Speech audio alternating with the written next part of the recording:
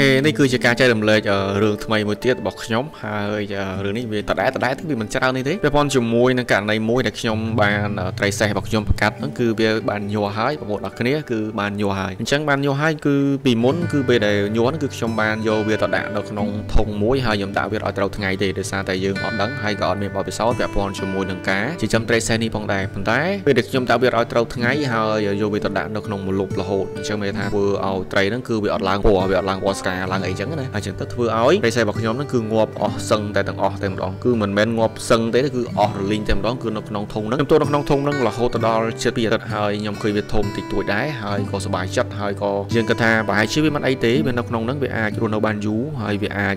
មិនមិនជាមិនជាបញ្ហាទេប៉ុន្តែវាជាបទពិសោធន៍មួយថាបើសិនជាចិញ្ចឹមត្រីអស់ហ្នឹងពេលតកូនទូចទូចយ៉ាងហោចហ្នឹងក៏ត្រូវបើកពន្លឺថ្ងៃវាត្រូវដែរឲ្យត្រូវពន្លឺថ្ងៃខ្លះដែរដើម្បីឲ្យវាមានថាទទួលបាននៅពន្លឺទៅវាអាចវិវត្តរាងកាយវាឲ្យទៅជាធំឬក៏ទៅជាត្រឹសជាងមុនអញ្ចឹងទៅដើម្បីនេះអញ្ចឹងសូម្បីតែរុក្ខជាតិក្តីសូម្បីតែយើងក្តីក៏ត្រូវការពន្លឺព្រះអាទិត្យដើម្បីរស់ដែរអញ្ចឹងត្រីហើយក៏វាអាចត្រូវការដើម្បីព្រះអាទិត្យដែរនេះគឺជា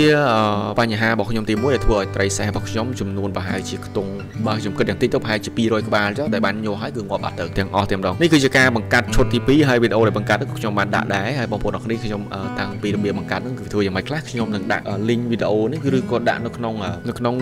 description របស់ខ្ញុំឬក៏ដាក់នៅក្នុងចុងវីដេអូរបស់ខ្ញុំតែម្ដងតើវិធីបង្កាត់ trace ហ្នឹងវាយ៉ាងម៉េចហើយយើងបង្កាត់យ៉ាងម៉េចដើម្បីឲ្យបាននៅពងរបស់វាហើយនឹងយើងមើលតាមដាននេះមិនតើដឹងតើវាបង្កាត់ឬក៏មិនបង្កាត់ដែរឬក៏អត់អញ្ចឹងហើយបងប្អូននេះអាចតាមដាននៅក្នុងចុងវីដេអូបានប៉ុន្តែនេះគឺជាករណីទី2ដែលខ្ញុំ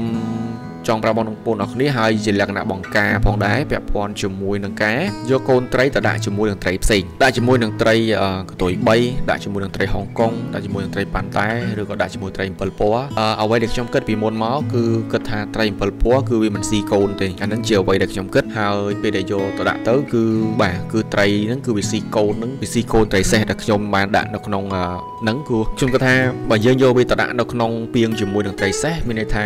ពាងជាមួយត្រី7ពណ៌មានថាវាមានពន្លឺគ្រប់គ្រាន់អញ្ចឹងនៅក្នុងវាអាចរស់នៅជាមួយគ្នាបានធម្មតាវាមិនស៊ីអញ្ចឹងណាអាហ្នឹងតាមអ្វីដែលខ្ញុំគិតប៉ុន្តែអ្វីដែលយើងគិតបាទយើងមិនមែនខុងមីងទេបាទមិនមែនខុងមីងរឿងសាមកុកទេដែលគិតហើយឆ្លាតអីពេកហើយយើងគិតទៅហើយរឿងហ្នឹងវាតាមអ្វីដែលយើងគិតគឺមិនអញ្ចឹងទេគឺខ្ញុំបានយកត្រីហ្នឹងយកទៅចាក់ចូលនៅក្នុងពាងត្រី7ពណ៌ដែលគិតថាប្រហែលជាអត់រឿងអីទេប្រហែលជាសុកហើយប្រហែលជាបានផលហើយប្រហែលជាអាចឲ្យវារស់នៅជាមួយគ្នាបានប៉ុន្តែមិនអញ្ចឹងទេត្រី7ពណ៌គឺដេញស៊ីត្រីសេះរបស់ខ្ញុំមួយយប់ហ្នឹងវាស្ទើរតែអស់បាទស្ទើរតែអស់លីងដូចរូបភាពដែលខ្ញុំបានដាក់ជូនបងប្អូនអរគ្នានេះបាទតាំងពីដើមរហូតដល់នេះគឺមើលទៅគឺត្រីសៃគឺវាទូចទូចខ្លាំងមែនទែនរហូតទូចជាងអាត្រី7ពណ៌ទៀតពួកត្រី7ពណ៌យើងមិនដឹងហើយវាទូចស្រាប់ហើយមែនទេអញ្ចឹងត្រីសៃហ្នឹងវាទូចជាងទៅទៀតវាមើលទៅវាដូចជាចៃទឹកមើលទៅដូចសលេជាមួយចៃទឹកមែនទែនអញ្ចឹងមានអីអាត្រីហ្នឹងបដិញខាំស៊ីខ្ទេចអស់ទៅបាទក្នុងហ្នឹងគឺមិនតិចទេមកកន្លះហ្នឹងស៊ីខ្ទេចអស់តែម្ដង អញ្ចឹងមានថាយើងដូចជាយកចំណីយកទៅឲ្យត្រី7ពណ៌យើងស៊ីឆាប់អស់អញ្ចឹងបងប្អូនគ្នាបានឃើញនេះគឺវាទូចទូចខ្លាំងមែនទែនត្រីសៃហ្នឹងគឺវាទូចជាងត្រី7ពណ៌ទៀតពួកធម្មតាត្រី7ពណ៌កូនត្រីវាទូចស្រាប់ហើយប៉ុន្តែអាកូនត្រីសៃវាកាត់តែទូចជាងហ្នឹងទៀតបាទទូចជាងតកៅទឹកទៅទៀតបាទអញ្ចឹងត្រីហ្នឹងព្រោះអាចបាទតកៅទឹកចាប់ស៊ីបាទអញ្ចឹងមើលរូបភាពនេះគឺ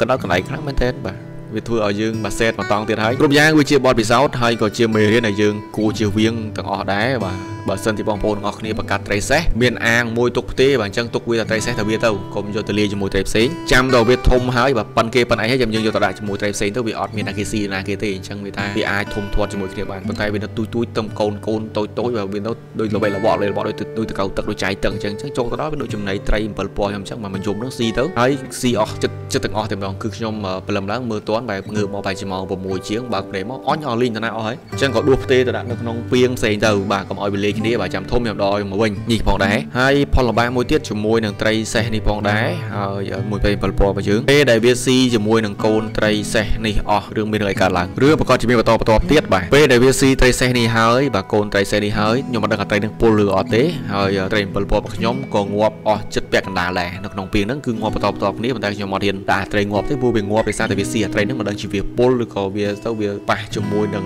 សែនរបស់ត្រីខុសគ្នាវាទៅជាបកចូលជាមេរោគអីខ្ញុំអត់ដឹងទេប៉ុន្តែគាត់ចង់ប្រាប់បងប្អូនអ្នកគ្នាថាត្រីសេះឬក៏ត្រី7ពណ៌ដែលបានស៊ីត្រីសេះហ្នឹងគឺងាប់អស់ស្ទើរតែពាក់កណ្ដាលហើយនៅបង្កបន្តងាប់ដល់រាល់ថ្ងៃក៏នៅមានងាប់ដែរចូលទៅមើលទៅគឺឃើញងាប់មួយពីរមួយពីររហូតព្រោះសារតែវាបានស៊ីត្រីសេះរបស់យើងដែលយើងបានចាក់ចូលទៅហ្នឹងគឺវាជាផលលំបាកមួយដែរហើយបើយើងគិតទៅថាបើវាអស់ត្រីសេះហ្នឹងទៅហើយវាអត់អីទេយើងអាចបង្កាត់ទៀតបានអត់បញ្ហាទេប៉ុន្តែត្រី7ពណ៌យើងក៏ងាប់អស់បន្តបន្តដែរដោយសារតែវាពុលត្រីនឹងឬក៏មិនដឹងឬក៏យ៉ាងម៉េចយើងអត់ដឹងទេប៉ុន្តែគឺជាប្រការជាជៀសវាងអ្នកបងប្អូនអរគ្នានេះជាព័ត៌មានដែលបងប្អូនអ្នកអាចយកទៅបានហើយពេលដែលបង្កាត់ទៅប្រយ័ត្នប្រយែងខ្លាំងមែនទែនបាទអត់មាននេះទេគឺជាបទពិសោធន៍ដែលខ្ញុំបានតេស្តយកតែម្ដងហើយនេះគឺជាបទពិសោធន៍ដែលជួយបងប្អូនអរគ្នាបានហើយក៏ជាតេស្តមួយដែលអាចបង្ការបងប្អូនអរគ្នាយកទៅបាទអនុវត្តទៅគឺវាមិនខាតបងហើយយើងអាចសល់នៅបាទត្រីដែលយើងឬក៏សល់នៅបាទសមិទ្ធផលដែលយើងបានបង្កាត់មកនឹង អញ្ចឹងយើងមិនអាចប្រហែលបានទេនេះគឺជាព័ត៌មានបងប្អូនដែលអាចយកទៅបានពិចារណាហើយអាចយកទៅ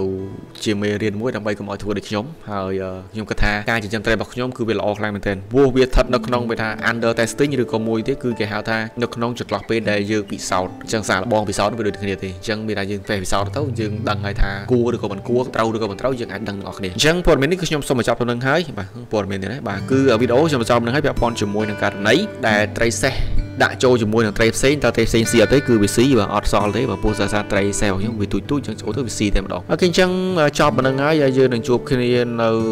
បទពិសោធន៍ថ្មីថ្មីរបស់ខ្ញុំបន្តទៀតបើខ្ញុំបានទទួលមកខ្ញុំនឹងចែករំលែកបងប្អូនអរគ្នាដើម្បីជា